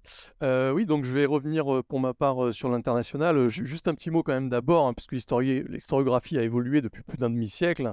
Aujourd'hui, il y a un certain nombre de personnages dont on sait qu'ils sont absolument pas proudhoniens, hein, parmi ceux qui ont été mentionnés. Donc il y a ici un recueil de textes de, Varlin, qui a été fait par Michel Audin il y a quelques années. On voit à sa lecture très clairement qu'il n'était pas proudhonien. Vaillant a été cité aussi. Vaillant n'était pas un proudhonien, hein. parmi d'autres qui ont été cités. Je n'ai pas noté tous les noms, mais enfin... Oui, oui, je sais bien, c'est ce que je dis, c'est que l'historiographie des années 60-70 sur ce point est totalement controuvée aujourd'hui. Un certain nombre d'auteurs qui étaient cités sont reconnus aujourd'hui comme manquant totalement de sérieux au point de vue de la recherche historique, notamment sur l'attribution totalement abusive de ce qualificatif de proudhonien à des gens qui, ne l'étaient pas. Bon, donc je reviens juste sur, sur l'international. Donc elle est fondée en 1864 à Londres. Euh, Londres parce que c'est là où il y a le mouvement ouvrier euh, le plus puissant, le plus développé euh, à l'époque. Alors par coïncidence, j'en dis un mot, mais il se trouve que Karl Marx habite aussi à Londres, mais c'est vraiment pas parce qu'il habite à Londres que l'international est fondée ou qu'elle est fondée à Londres. il est en exil là et voilà, mais il est invité à la séance de fondation de l'international, mais il n'est absolument pas à l'initiative de l'international. Et d'ailleurs, il n'y prend pas la parole volontairement. Hein, volontairement, il ne prend pas la parole parce qu'il n'est pas ouvrier. Et donc, il considère que pour l'Allemagne, il vaut mieux que ce soit un ouvrier allemand, vivant en exil aussi en Grande-Bretagne qui, prennent la parole. donc l'international se base sur un principe qui est inscrit dans ses statuts, qui est que l'émancipation des travailleurs doit être l'œuvre des travailleurs eux-mêmes. Alors, cette citation est souvent traduite de façon différente. Donc je me permets de citer, il se trouve que c'est Karl Marx, mais là encore par coïncidence qui a écrit les statuts. Il l'a écrit en anglais, donc en anglais, désolé pour l'accent. the emancipation of the working classes must be conquered by the working classes themselves, ce qui se traduit très exactement par l'émancipation des classes travailleuses doit être conquise par les classes travailleuses elles-mêmes. Et c'est vraiment cette pensée-là qui va animer l'international. je me permets juste une citation du journal de l'international à Bruxelles, qui s'appelle tout simplement l'international, en mars 1870, et qui explique bien cette notion-là. Nous ne sommes pas des socialistes à système. Nous sommes purement et simplement des révolutionnaires. Nous faisons appel à la masse, et nous sommes convaincus qu'elle seule a le secret de ses destinées, et qu'elle seule peut donner le mot d'ordre de l'avenir. Les droits des travailleurs, voilà notre principe. L'organisation des travailleurs, voilà notre moyen d'action. La révolution sociale, voilà notre but. Donc on est bien sur cette idée d'auto-organisation, euh, et qui est une idée qui est évidemment euh, soutenue euh, par un certain nombre de militants, et notamment par Marx. Alors maintenant, pour ce qui est de l'international en France, il y a des Français qui sont présents lors de la fondation de l'international à Londres. Ils créent des sections en France à leur retour, mais on est vraiment sur des petites sections. il s'agit de, groupuscules hein, quasiment. Hein. On parle de quelques centaines d'adhérents hein, de l'international dans, un premier temps. Et en fait, c'est le mouvement réel qui va renforcer, qui va réellement créer l'international et la développer. C'est l'essor des grèves euh, dans euh, la France du Second Empire, de la fin du Second Empire, euh, de la fin des années 1860. Donc on est vraiment sur cette... c'est la pratique hein, qui va créer l'organisation. C'est la pratique des grèves qui va renforcer l'organisation. et donc on a aussi le développement des premiers syndicats. Alors les syndicats sont encore interdits en France, ça s'appelle à l'époque des chambres syndicales, mais enfin, elles s'organisent même sans être légales. Et donc, cette lutte pour euh, des grèves donc contre le patronat, donc une lutte de classe absolument directe, euh, et cette lutte pour la formation d'organisations syndicales, malgré le fait qu'elles ne soient pas reconnues, sont vraiment les pratiques qui sont, à mon avis, à l'origine de la Commune de Paris. Puisque ce mouvement est le plus fort dans les grandes villes, hein, dans les grandes villes avec un développement industriel, et notamment Paris. Paris est une ville très ouvrière à l'époque, Hein, ce qui n'est pas forcément le cas encore aujourd'hui, mais euh, c'est quelque chose de vraiment euh, marquant à l'époque. Euh, il faut le souligner, un mouvement ouvrier international, pas seulement parce qu'il y a l'international, mais aussi parce qu'il y a des circulations. Il y a des circulations parce qu'on appelle le compagnonnage à l'époque, le compagnonnage européen, où les jeunes ouvriers vont passer de pays en pays pour se perfectionner dans leur travail. il y a aussi des, exils, hein, tout simplement, parce qu'il y a des, des répressions politiques. la France est un des lieux de répression politique, et donc il y a des exilés qui partent notamment en Grande-Bretagne, mais c'est aussi un lieu de réception d'exilés d'autres pays, notamment de Pologne. Et puis on a tout simplement des circulations, comme il y en a toujours eu dans l'histoire de l'humanité. Donc on va avoir dans l'international en France des étrangers, il y a y compris une section allemande de l'international à Paris, qui euh, n'est pas une section d'allemand, mais qui est une section de langue allemande, donc de militants germanophones, euh, qui est notamment dirigé par des Hongrois, et notamment Léo Frankel, à qui j'ai consacré euh, une biographie. Euh, et donc, on a des militants belges, des militants suisses, des militants danois dans l'international à Paris. Et y compris dans la commune de Paris, on aura un certain nombre de militants de différentes nationalités, y compris parmi ces élus, puisqu'il y aura un élu qui siégera, Léo Frankel, qui est hongrois, et un élu qui siégera pas, qui est italien. On a de nombreux Polonais, des Belges, des Suisses, des Luxembourgeois, on a y compris des généraux de la commune qui sont euh, étrangers. Donc on a cette dimension internationale qui est inscrite dans le mouvement ouvrier d'avant 1871 et qui se retrouve tout naturellement par la pratique dans la commune de 1871. Donc une dimension internationale qui est majeure. Euh, je me permets de, signaler ce, biais historiographique, à mon avis, euh, qui est une erreur historique, qui est de considérer que la commune serait née de la volonté de défendre la patrie en danger. En mars 1871, la guerre est finie. Hein, et donc, il n'y a absolument plus euh, ces éléments-là qui datent de 1870. À mon avis, il y a là euh, quelque chose qui, euh, qui date de la Troisième République, d'une historiographie très ancienne, très datée de la Commune de Paris, mais qui sont encore des choses qui sont reprises de nos jours. je pense que c'est une dimension qui est inexacte. je me permets de citer un militant de l'international communard pendant la Commune, qui s'appelle Jules Nostag. Et il écrit dans le journal La Révolution politique et sociale, hein, qui était donc un journal de l'international. Et le titre même montre bien la préoccupation de, de cet international. Hein. C'est révolution politique, certes, mais et sociale, et c'est vraiment important. Et c'est une façon aussi de se distinguer d'un certain nombre d'autres courants. Donc je cite Nostag, on est en avril 1871, au cœur de la commune. Naître ici ou là, seul fait du hasard, des circonstances, change notre nationalité, nous fait amis ou ennemis. Répudions cette loterie stupide. Que la patrie ne soit plus qu'un vain mot. Notre pays est partout où l'on vit libre. La France est morte, vive l'humanité. Alors je prétends absolument pas que c'est l'opinion de l'ensemble de la commune et l'ensemble des communards. Hein. Euh, encore une fois, la commune est un rassemblement, l'international elle-même est un rassemblement. Hein. Il n'y a pas forcément d'idéologie, il n'y a même pas d'idéologie de, l'international, mais c'est un, un, des courants des communards, donc il ne faut pas négliger. C'est une des opinions qui se euh, manifeste. Donc, euh, pendant euh, la commune de Paris, donc il y a un conseil de la commune, ça a été dit, qui est élu dans les arrondissements. On a à peu près 80-90 élus, tous ne siégeront pas, donc on peut compter de, différentes façons.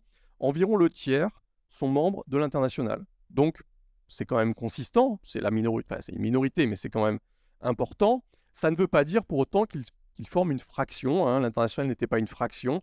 Il y avait aussi de grandes différences, à la fois politiques, mais aussi de niveau d'engagement au sein de l'AIT. C'est-à-dire qu'il y a des élus de la commune qui sont certes membres de l'international, mais honnêtement, on ne sait pas du tout depuis quand ils étaient allés euh, dans des réunions de l'international à Paris. Hein. Peut-être que ça faisait des mois qu'ils n'étaient pas allés en réunion de section.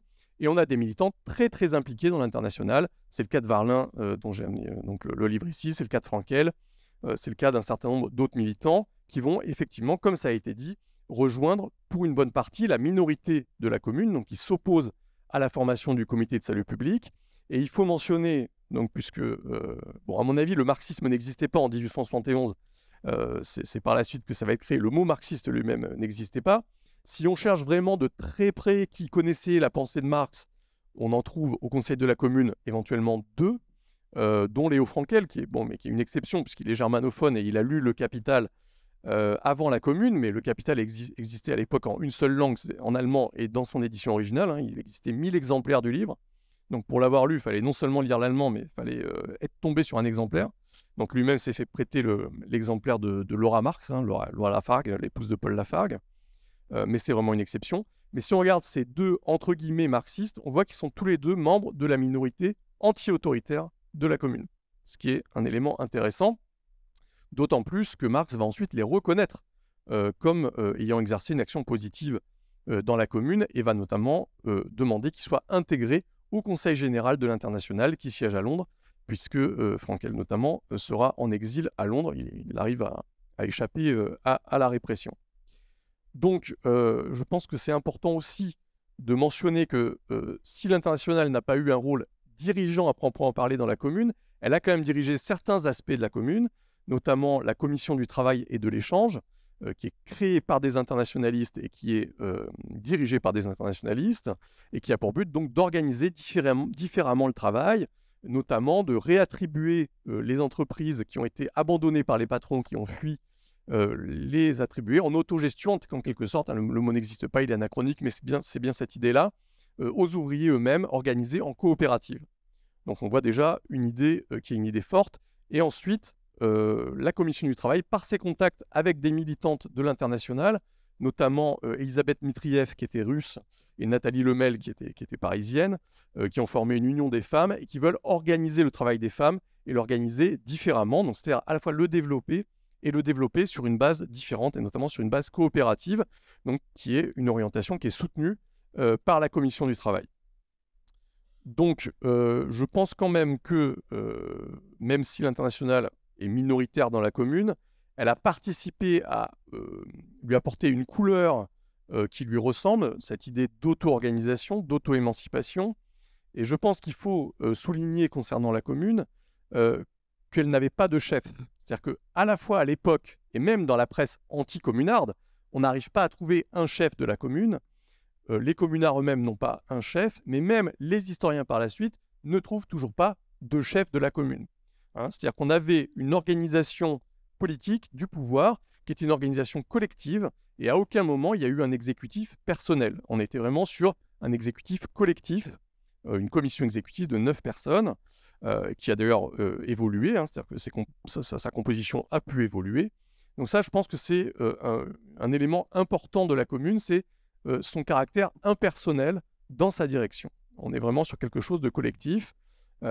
et ça, c'est quelque chose qui reste de la commune et des héritages qui ont pu avoir lieu, même si effectivement c'est des héritages qui sont parfois déformés, même si parfois il y a des appropriations abusives.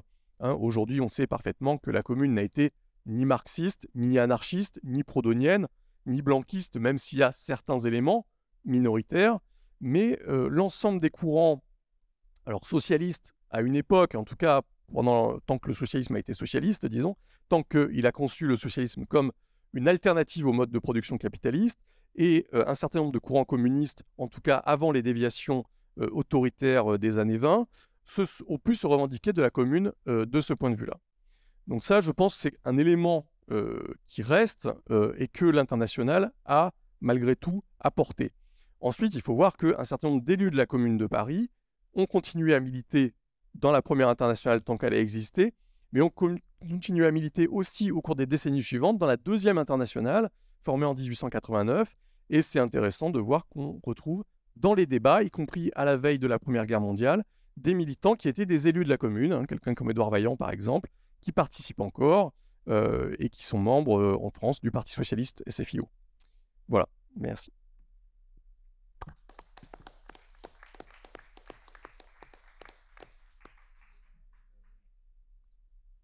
Ben, merci beaucoup à, tous, les, tous les quatre, maintenant trois. Euh, on va passer maintenant à une séance de, questions-réponses tout simplement avec la salle. Est-ce qu'il y aurait des questions déjà?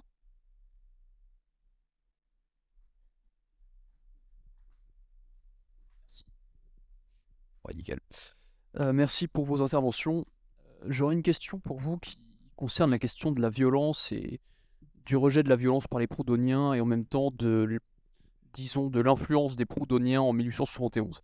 Alors déjà, comment est-ce que vous expliquez cette influence du proudhonisme alors que le mouvement ouvrier sortait euh, deux décennies plus tôt du bain de sang de 1848, donc qui posait la question de, des moyens euh, de, la, conquête de l'émancipation par, euh, par le mouvement ouvrier, et qui, on, aurait pu penser, disons, qu'elle, donnait, qu'elle aurait pu donner du crédit aux thèses blanquistes, ou acceptant la nécessité de, voilà, d'une confrontation avec, avec les classes dominantes. donc voilà, qu'est-ce que comment est-ce que vous analysez, malgré euh, la, conflictualité propre à cette époque, l'hégémonie du proudhonisme Et euh, question euh, qui est lâchement liée à la première, comment expliquez-vous l'attitude des communards par rapport à la Banque de France? L'explication que donne Marx, c'est une, une, timidité de pauvre devant un tas d'or. Bon, c'est un peu court. Est-ce que vous avez des hypothèses sur les raisons pour lesquelles les, les communards ne se sont pas attaqués à la Banque de France, n'ont pas pris l'or de la Banque de France? Euh, sachant que le seul communard qui a tenté de le faire, c'était Raoul Rigaud, procureur de la commune, qui était un blanquiste. Et qui. Euh, donc voilà, est-ce que vous avez des éléments là-dessus? Et, est-ce que, pour vous, cette, euh, les éventuelles controverses qu'il y a eu à propos de la Banque de France recoupent le clivage entre les autoritaires et les anti-autoritaires qui, qui veut prendre? Hugo, tu veux commencer? Je vais, je vais dire un mot, bien sûr. Je pense qu'ensuite, ensuite chacun aura une, une réponse. sur la première question, à mon avis, sur le, sur, le proudhonisme, je ne pense pas que 48, dans l'esprit de Proudhon ou des proudhoniens, puisse invalider l'idée, justement, que le, mouvement ouvrier ne doit pas chercher à conquérir le pouvoir politique, à conquérir le pouvoir d'État, puisque à partir du moment où on tente cette, cette, prise du pouvoir, elle aboutit justement à une violence et à une réaction de ce pouvoir d'État. Donc je pense, mais certainement euh, Olivier Chaibi sera beaucoup plus euh, euh, compétent que moi pour répondre là-dessus, mais qu'au contraire, l'idée c'est de dire, regardez, la révolution violente, ça ne marche pas, ça n'a pas marché en 1793, ça n'a pas marché en 1830, ça n'a pas marché en 1848, ça aboutit forcément à un bain de sang et à une réaction, et que donc au contraire, il faut que ce soit les travailleurs eux-mêmes qui s'organisent dans les mutualités, dans les coopératives de production, de consommation, d'échange, et que justement, il, se dédouane, il soit en dehors de cette conception étatiste du, du, pouvoir. Et d'une certaine manière, c'est un peu ce qu'on va retrouver avec la Banque de France.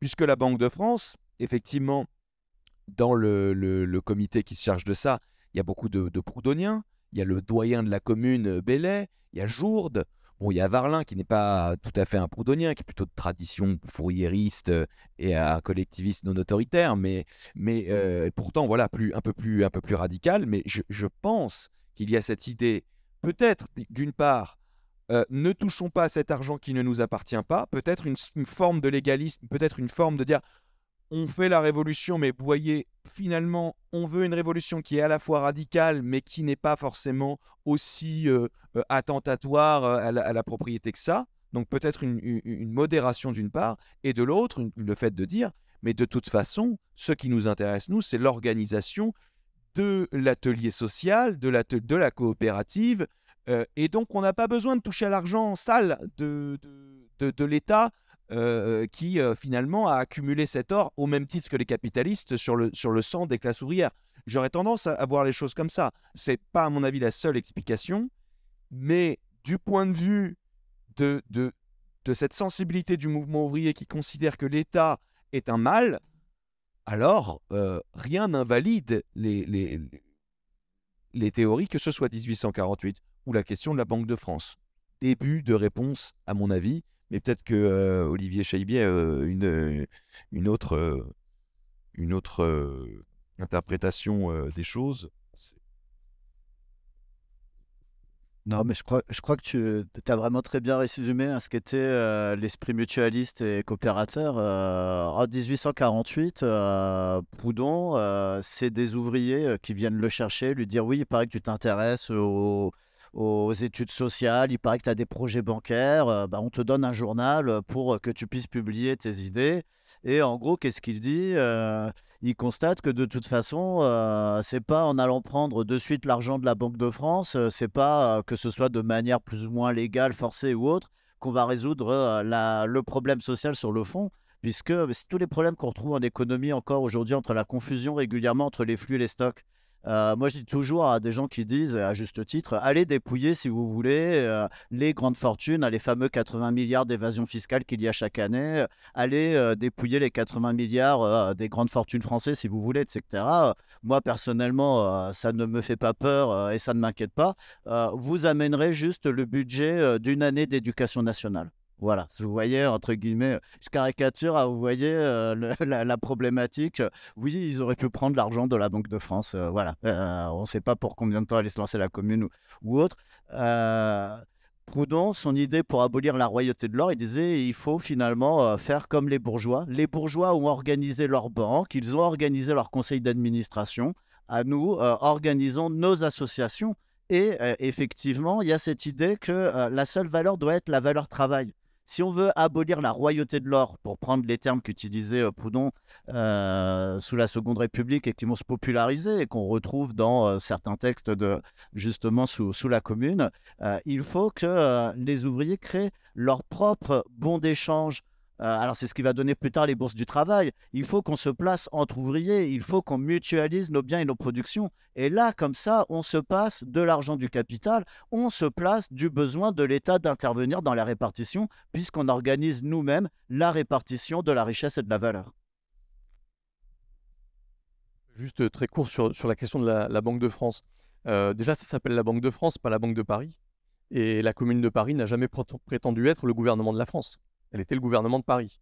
Donc euh, cet argent n'était pas qu'à Paris, la majorité des habitants de la France n'étaient pas à Paris. D'autre part, euh, l'argent de la Banque de France n'était pas qu'à Paris. Il y avait des dépôts dans d'autres endroits. Hein. Donc de toute façon, même si elle l'avait voulu, la commune ne pouvait pas prendre tout l'argent de la Banque de France. Euh, et enfin, la commune n'est pas morte d'un manque d'argent. Donc la prise ou non de la, Banque de France, à mon avis, n'aurait joué aucun rôle dans l'avenir de la commune. Donc je pense que là, il y a eu un, débat totalement dont l'importance a été largement exagérée, je pense. Arrive vers la fin. On peut prendre éventuellement encore une question s'il y en a une. Ouais. Et on voilà, ouais voilà, c'est ça. On va allez-y ouais et on va prendre euh, du coup trois questions euh, en même temps et puis après on distribuera la parole. Merci beaucoup. Je vous remercie pour vos interventions. Moi, je vais vous poser une question. Peut-être que ça va être dans un autre terrain de jeu. Je voulais connaître l'attitude ou ce que pensaient les communards les communardes par rapport à, la colonisation. Parce qu'on sait déjà que l'Algérie, par exemple, a été colonisée en 1830. Vous avez parlé d'international et l'internationalisme. Vous avez cité l'Angleterre, euh, le, Danemark, la Belgique, l'Allemagne. De, de grandes enfin, c'est que des, de l'impérialisme, quoi. Et quand on parle des ouvriers des mouvements ouvriers, bah, ils manipulent des matériaux, ils savent qu'ils viennent de l'extérieur. Certes, l'esclavage a été aboli, je crois, en 1848, voilà. Donc 1871, l'esclavage n'existait pas, mais il y avait quand même des peuples qui souffraient en dehors de, du continent européen. Qu'est-ce que vous pouvez me dire euh, par rapport à cette question-là? Merci prend une, euh, une autre question encore.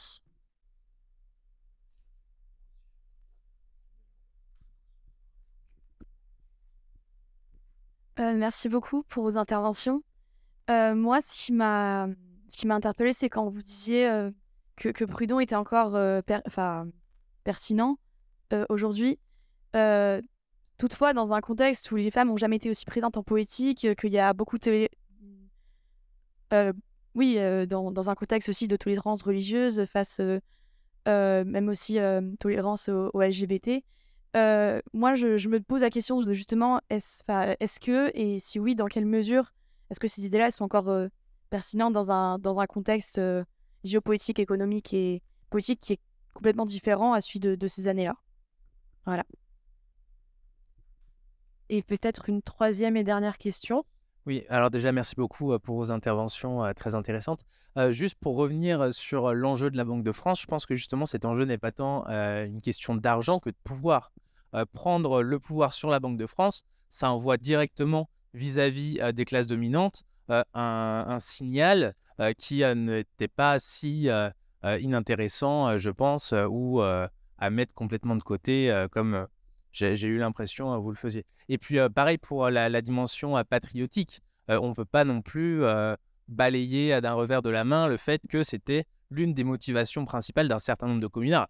Évidemment, sans doute pas tous, mais que c'est l'une des motivations qui a beaucoup joué dans le soulèvement de la commune. Alors, on va peut-être tous dire. Non, vas-y. Non? Bah, Ok. Alors, juste, je ne vais pas répondre à tout, hein, puisqu'on va répondre tous les trois. Donc, sur la question du colonialisme, clairement, à mon avis, il n'y a pas un point de vue communard, il y a des points de vue communards, ça, il y a des points de vue différents. Alors, encore une fois, la commune de Paris n'est pas le gouvernement de la France, donc ils n'ont pas en charge la question des colonies.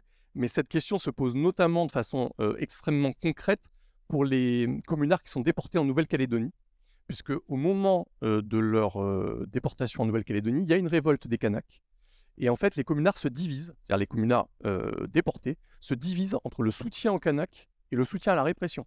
Hein, ce qui montre bien, là encore, euh, sur une question aussi fondamentale que ça, et extrêmement concrète, puisqu'ils sont sur place en Nouvelle-Calédonie au moment de ce soulèvement, à quel point les communards peuvent être d'esprit différents. Voilà. Euh, juste après, sur la question du patriotisme, je pense vraiment pas qu'il y avait le 18 mars, la question toute simple, c'est le désarmement de la garde nationale, c'est le départ du pouvoir, et donc c'est organiser le pouvoir différemment. À mon avis, il n'y a aucune motivation patriotique là-dedans. À aucun moment, le Conseil de la commune ne parle de faire quoi que ce soit contre les Prussiens. Et au contraire, au contraire, souhaite s'adresser aux Prussiens pour qu'ils servent de médiateurs vis-à-vis des Versaillais. Et un certain nombre de communards iront vers les Prussiens pour se sauver des Versaillais. L'ennemi, c'est le Versaillais, c'est vraiment pas, euh, c'est vraiment pas le, le Prussien. Oui, le, il y a aussi la question de la nomination de Louis Rossel. comment vous l'expliquez dans ce cas-là? Non, mais après, il y a un certain nombre de gens qui se rallient euh, à un mouvement, mais c'est c'est pas euh, Rossel ne fait pas la commune. Hein. Il n'est pas là le 18 mars, hein, à ma connaissance. Hein. Il joue pas de rôle euh, dans, le 18 mars. Nommé quand même, enfin un poste très important. Mais, ça, mais ça, dans, tout mouvement, dans tout mouvement, il y a des gens qui vont arriver, des gens qui ont des parcours un petit peu d'aventuriers. Tu cites Rossel, on pourrait citer Cluseret. Hein, euh, des gens qui vont effectivement trouver à un moment euh, l'obtention d'un titre, d'un rôle, etc. Mais c'est pas pour ça que la, motivation du communard de base le 18 mars à quelque chose de patriotique À mon avis, rien. Mais enfin, je, euh, si je peux d'ajouter quelque chose, euh, pour rebondir à ce que disait Inès en introduction, comment expliquez-vous le, disons l'influence parmi les, les élus communards du, jacobinisme, du blanquisme, qui, ont été élus par la population parisienne Une partie avait fait sécession, euh, une partie avait refusé de voter, les élections avaient été largement désavouées par les Versaillais. On peut dire que la, majorité communarde élue était représentative peut toujours discuter, représentant, représenter, euh, ce qui se passe au cours du vote, mais d'une volonté euh, populaire. Et cette majorité était animée d'une fille patriotique tout de même, semble-t-il. Mais c'est absolument pas la motivation lors du vote. Les gens qui sont élus, c'est les gens qui sont des opposants au Second Empire et des opposants au gouvernement provisoire, enfin au gouvernement de défense nationale. Voilà. Donc, dans, dans, ce, ce- dans ces gens-là, on trouve des composantes différentes. On trouve effectivement, ça a été dit, la composante blanquiste qui crée en 1870 un journal qui s'appelle La Patrie en danger. C'est indiscutable. Mais à, ce moment-là, ce journal n'existe plus. Donc, euh, je veux dire, la, la motivation lors du vote, à mon avis, n'est pas celle-là. Mais euh, effectivement, euh, on a dans, dans cette, euh, ces élus communards très différents, on a des gens qui ont un patriotisme républicain euh, affiché. Mais c'est n'est pas pour ça que c'est la motivation lors du 18 mars ou que c'est la motivation lors du vote du 26 mars. Hugo, oui, tu, tu prends et ensuite Olivier, et notamment sur les, les autres questions euh, qui ont été posées. Oui, alors moi je, je, je rebondis juste sur la question coloniale parce qu'elle est très importante et très intéressante. En 18... En 1870-1871, euh, l'empire colonial français n'est pas ce qu'il va être euh, à la fin du 19e siècle, puisque la, majorité des colonies, euh, c'est la, République coloniale de Ferry qui va les, conquérir. Donc, en fait, quelles sont les, les colonies? Il y a les anciennes colonies, effectivement, la Martinique, principalement, Saint-Domingue, où effectivement il y a eu, il y avait l'esclavage aboli une première fois en 1794, aboli une deuxième fois en 1848, et il y a aussi l'Algérie qui euh, a été, euh, enfin la, conquête de l'Algérie a été longue puisqu'elle commence en 1830 et qu'elle elle se termine quasiment, euh, à la veille de la révolution de 1848 puisque l'émir Abdelkader rend les armes et à partir de ce moment-là, il y a une départementalisation de l'Algérie. La- L'Algérie devient trois départements français, même si sous le Second Empire, Napoléon III hésite à faire un royaume plutôt euh, algérien, finalement, l'option des républicains, elle est plutôt que les départements algériens sont des départements français. Pourquoi? Parce qu'une bonne partie des gens qui sont allés coloniser l'Algérie à, à par- à par- à partir de 1848 sont des républicains proscrits. Et c'est Napoléon III qui les envoie, qui dit Allez, euh, comme on faisait dans l'Antiquité en fait, hein, dès qu'il y avait une question sociale ou un problème de surpopulation, on disait Ah, il y a des colonies, allez-y, va conquérir ta terre, va cultiver la terre. Et comme il y avait l'argument locien de dire la terre n'est pas cultivée, donc euh, on l'occupe et on la, on la, cultive. Donc il y a une, une bonne tendance euh, chez pas, pas mal de républicains qui est, qui est une tendance qui considère que euh, la colonisation est quelque chose de légitime. Et il ne faut pas oublier d'ailleurs qu'en 1871, il y a une commune à Alger aussi. Commune qui est menée par des colons républicains qui veulent aussi, qui pensent aussi mettre en place une commune à Alger. Et en même temps, il y a aussi la révolte de Sheikh Al-Mohani qui euh, va être euh, réprimée.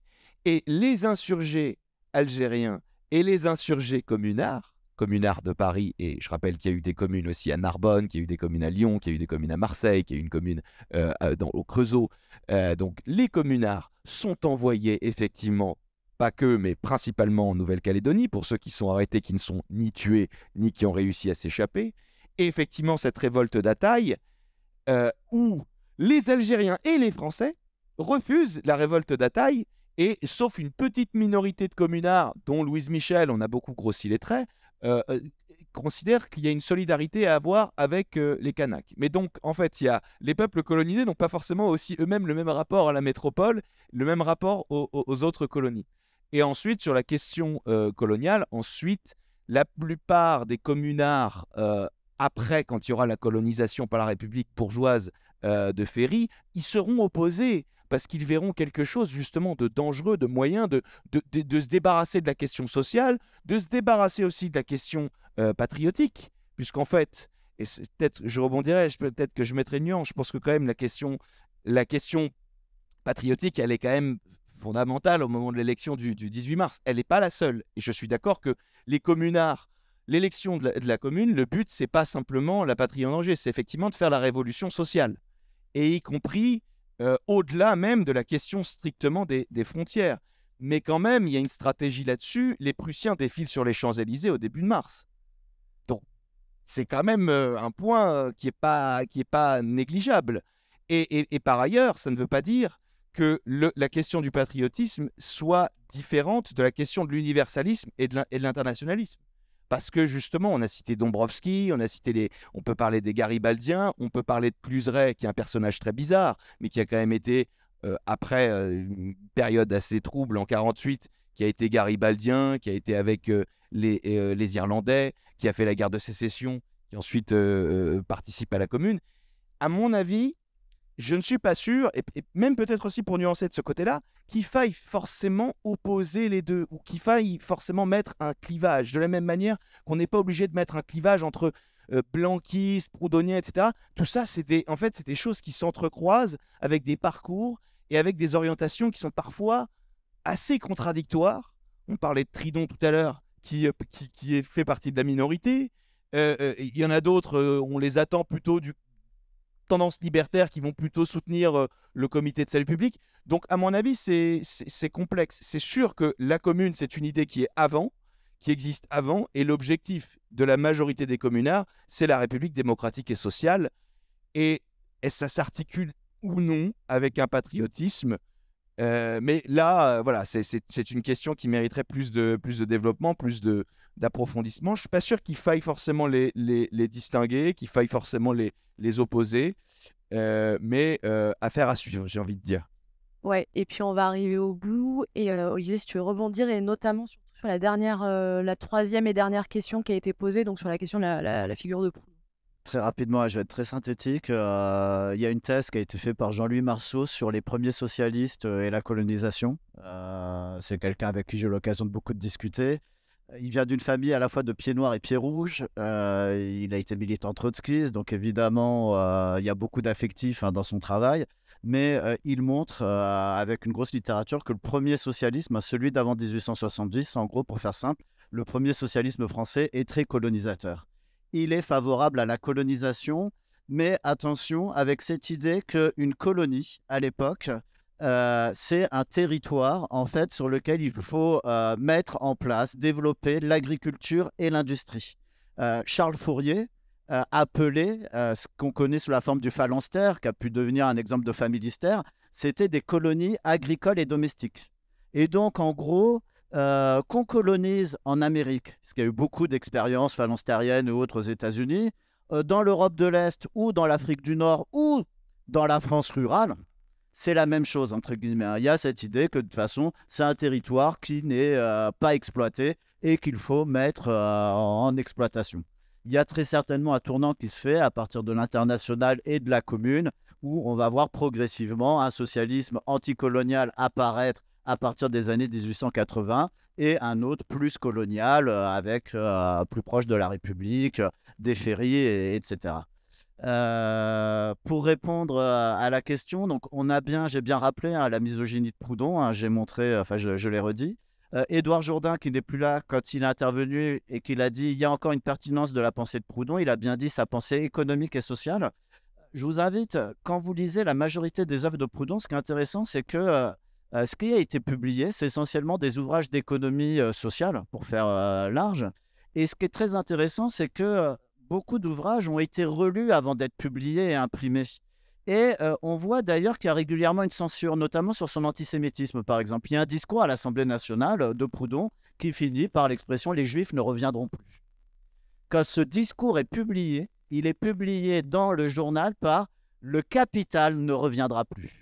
Donc ça veut dire qu'il y a un contrôle ouvrier hein, euh, des typographes euh, qui fait que euh, on ne laisse pas diffuser les propos antisémites ou misogynes de Proudhon que l'on connaît essentiellement parce qu'ils sont dans des carnets intimes ou dans des lettres individuelles et qu'ils ont été beaucoup d'ailleurs euh, mis euh, en valeur par les marxistes au cours du XXe siècle pour dire regardez Proudhon, misogyne, antisémite, il faut vraiment euh, le ou l'extrême droite par contre qui s'en revendique en disant regardez quelqu'un comme Proudhon avait déjà tout compris, hein, les femmes elles sont à la maison et les juifs il faut s'en débarrasser.